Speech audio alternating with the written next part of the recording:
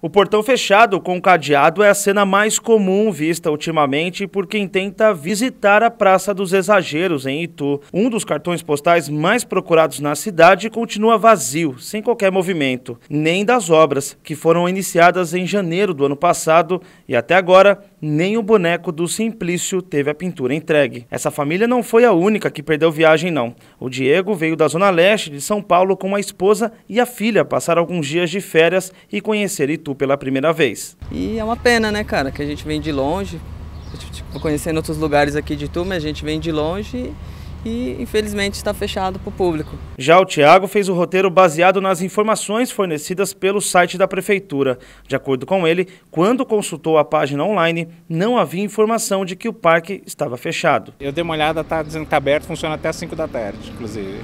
Então, então foi uma surpresa, né? Foi surpresa e pelo que eu vi já tem outras famílias que estiveram aqui também, estão indo embora.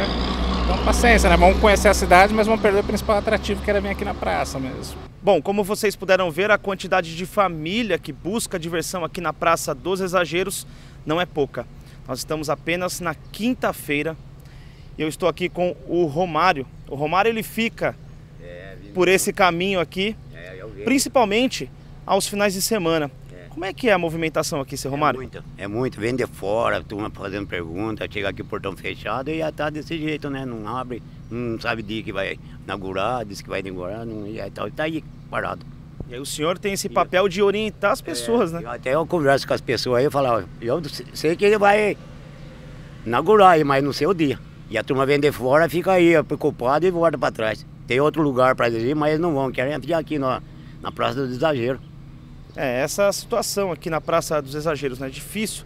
São pessoas que vêm de todos os estados do Brasil, muita gente da capital paulista vem aqui passar um final de semana, passar as férias e infelizmente a praça fica nesse estado, fechada e sem previsão de retorno. Esse casal, por exemplo, veio do Rio Grande do Norte visitar alguns amigos. Os dois tiveram que aproveitar as fotos somente pelo lado de fora mesmo. É meio decepcionante que a gente veio conhecer o parque e a gente só tinha visto pela internet, né? Algumas fotos.